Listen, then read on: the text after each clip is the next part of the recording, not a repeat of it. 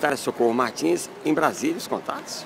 Os contatos lá é no Ministério da Saúde, estou indo com a primeira-dama, a doutora Carol. Vamos levando um projeto, que é o programa Infância Melhor.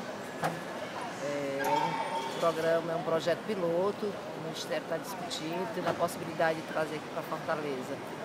Ia ser avaliado e é acompanhado de crianças de riscos em áreas mais carentes do nosso município. O Infância Menor, a senhora espera implantar quando?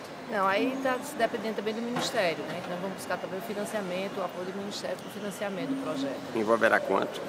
É um projeto que envolve muitos recursos, porque é mais para a contratação de pessoas, visitadoras, coordenadoras para áreas de risco, né? Uma média de, você contratar quase 400 pessoas.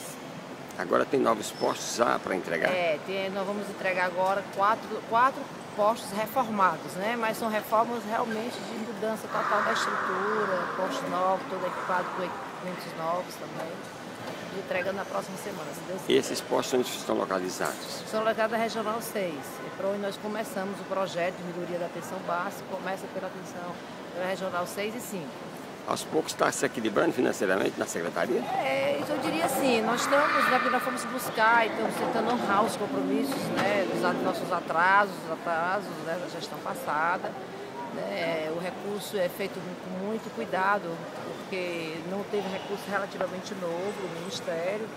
Mas estamos aí, cumprindo com a nossa obrigação. Ainda deve quanto, secretário? Ainda nós devemos assim, se levarmos em consideração todas as dívidas que o município tem com o fornecedor, com o prestador, principalmente com prestadores, não, não diria só do, do ano 2012, mas de anos, anos outros, 2011, 2010, aí nós chegamos a mais de 70 milhões ainda. Mas a senhora está renegociando, é isso? É, estou renegociando porque nós focamos a questão do ano 2012. Principalmente aquele mês de novembro, que corresponde ao mês de novembro, novembro, que foi aquele mês que foi antecipado o recurso de janeiro para dezembro. Alguma ação nova agora nesses dias? Não, hoje nós temos esse projeto, que é um projeto importante, temos a, questão, vamos ter o lançamento de 25 novas unidades, estão sendo concluída a licitação de construirmos 25 unidades, com certeza até o fim do mês nós estamos lançando o, a ordem de serviço do prefeito de 20 unidades, já para começar já no mês de julho.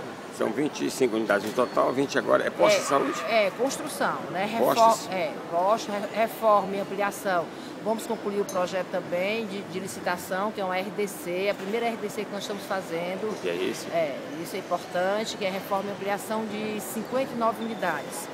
E vamos construir as seis UPAs, né? Que isso é também importante. As seis UPAs estão terminando o termo de referência e devemos iniciar as obras em agosto, no segundo semestre. As seis UPAs até o final da gestão entregar é, isso? É, não, eu, sim, eu acho que já vamos começar já a construir, porque já vamos iniciar o processo licitatório já. É,